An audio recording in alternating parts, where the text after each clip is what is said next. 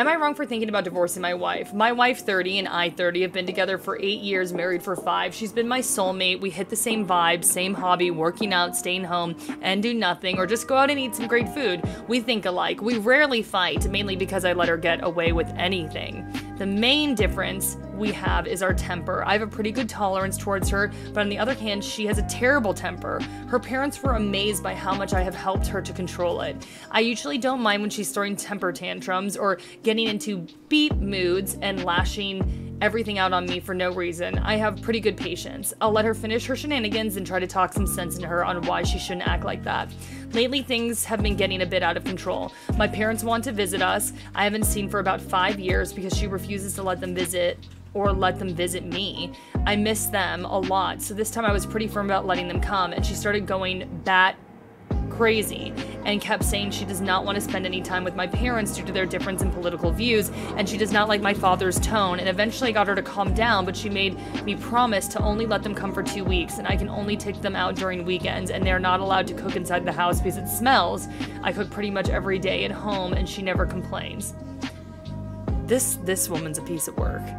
She would force me to sit next to her and do nothing all night long when I could be doing my own. She would say stuff like she wants me to spend time with her, sure, but she'll just read her manga or watches drama that only she enjoys and refuses to let me do my own stuff just because she said so. Three, I really want kids, and she gave a list of I gotta do if she pregnant. Not gonna list this out. That'll be another huge post. LOL. One example would be I have to give her a massage every day for an hour. What? Okay, and there's no at all. Reason she gave me, I'm fat and I have a belly. Keep in mind I'm 6 foot 180 pounds. I work out pretty much every day. I do have a little bit of a belly fat because of my love towards soda, but come on, no one else thinks I'm fat except her. Five, she really likes to me and she kept saying I enjoy it when I've expressed my dislike and repeatedly told her to stop. I'm starting to doubt if she's the one I want to spend the rest of my life with. We've built so much together. I'm also afraid to let things go. What are you doing, dude? No, no, no, no, no, no. No! God, please, no! No! This person, like, is controlling. They're not giving you any bound, they're not respecting your boundaries in any way. Um, they won't let your parents visit. They're making you, like, just hang out with them and not do your own stuff. Run for the hills! Run for the hills!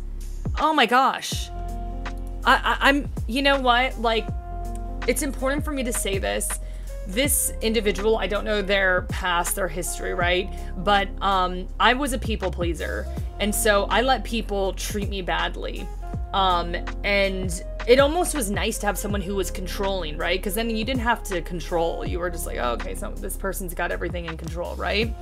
Um, but then like you're not able to form your own identity and then you're constantly suppressing stuff and then resentment builds up and resentment leads to illness. It like affects your body very negatively you know? And um like you're not allowed to be your own person. You're not allowed to have your own identity. So you need to do some healing yourself because it's like why are you why are you running? why are you subjecting yourself to this right? And the thing is like listen, people get angry, they have their flaws.